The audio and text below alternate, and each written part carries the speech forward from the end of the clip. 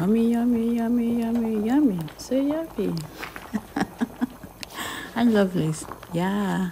I already know that I love what you're saying. I know, I know. Sit back, let me show you how I made it, okay? So guys, already in the pot I have chicken. Remember the chicken I told you we bought from the bazaar we did in our church the other day. So this is it. So I've properly washed it and I've added inside the pot with the stockfish. I added stockfish together because it has cooking time with the chicken. The chicken is a strong one, okay? And the stockfish is a strong one too. So I just added some salt, two Knorr cube for seasoning, and then scotch bonnet pepper. Yeah, this scotch bonnet pepper is so hot, so I'm adding just one. I'm adding onion. You know, normally we don't use onion to cook uh, ofe nsala, but because it's chicken, I have to add onion. Okay, and we're not going to be adding uh, curry and thyme. Of course, we're not cooking stew. yeah, we're not making stew or sauce. It's soup that we're making, white soup for that matter, ofe nsala. So on the other side of the burner, I just boiled water that we used to call color the catfish acupuncture because I'm using uh, catfish. Yeah. so I added water that we used to stiffen the catfish that we're using. So back to the chicken. Remember, I didn't add water. I left it to cook for 15 minutes to bring out its own sauce. Okay, and this is 15 minutes. You can see the sauce down there in the pot.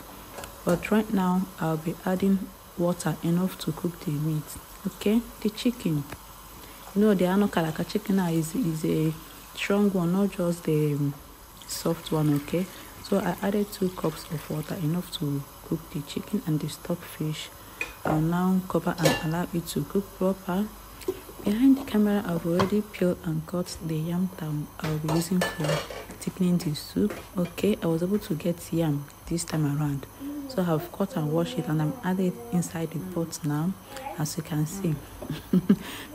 I've made a video that I, I prepared ofe nsala too, but with pando yam, okay? Instead of using the yam, the cooked yam, I used pando yam because I couldn't find yam, okay?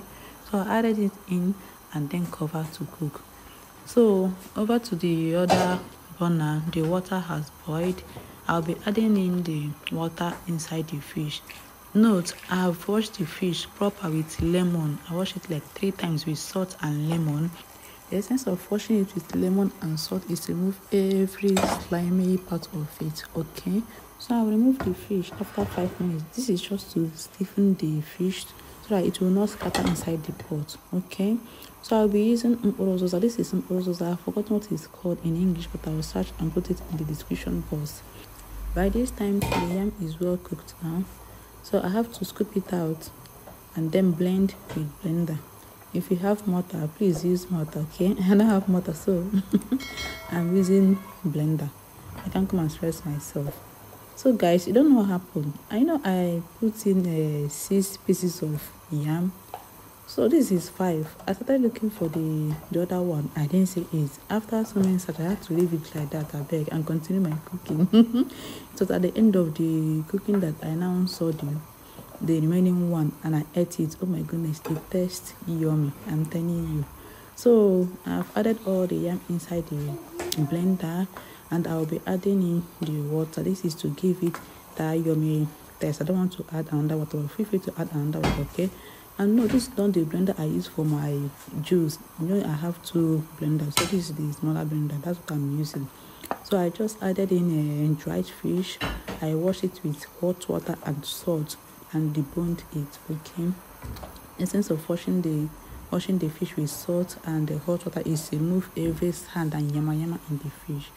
So now i added the blended uh, okay? And then the grounded uh, crayfish. I use just one cube just one. And then I list of the blender I use it blending the scotch bonnet pepper remember for the chicken okay? I don't want to add in another pepper. If i add another pepper that means my my kids will not eat it okay?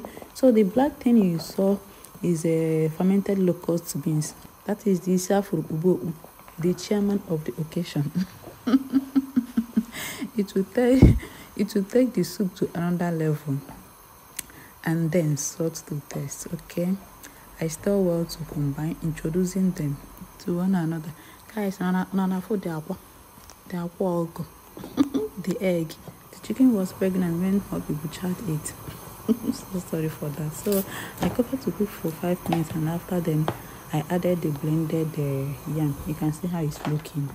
Yeah, so I added just a little portion and see how it will be, be like before adding more because I don't want the soup to be so thick so I have to be controlling it guys can you hear the sound of the soup? No